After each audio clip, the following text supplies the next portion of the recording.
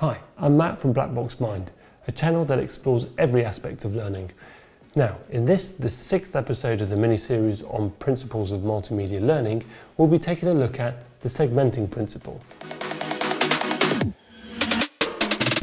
The first group of principles looked at ways of stripping out any non-essential information. And in this, the second group of principles, we'll be looking at managing essential processing.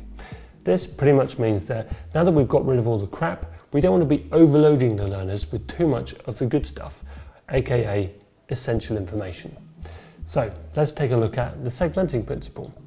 Let's imagine that we're back in the lecture hall again with pen and paper at the ready. Now, you know that this lecture is going to be complicated, so you lock in for an hour of note taking and trying to keep up. In this scenario, the learner is not actually in control with the speed at which this new information is coming at them. This, for a lot of people, can be tricky. The difficulty is that it's hard to really understand and comprehend something that's being explained before the lecture has already moved on to the next subject. So, if we take a look at the research on the segmenting principle, it tells us that People learn more deeply when a multimedia message is presented in learner-paced segments rather than as a continuous unit. This plays to the strengths of online learning platforms. With online video playback and courses broken down into small sections, it's possible to allow the learners to advance at their own pace. This means that they can fully understand information before they move on to the next step.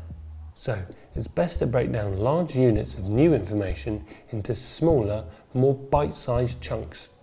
Also, allowing your students the possibility to choose when they move on to the next segment of information helps as well. This gives them the time they need to mentally select, organise and integrate all the new information that you're presenting. And that is the segmenting principle. As always, there's more information in the description box down below. And whilst you're down there, why not hit that like button? And if you don't find me too unbearable as a presenter, why not consider subscribing to the channel? Anyway, next up is the pre-training principle. I'll see you there.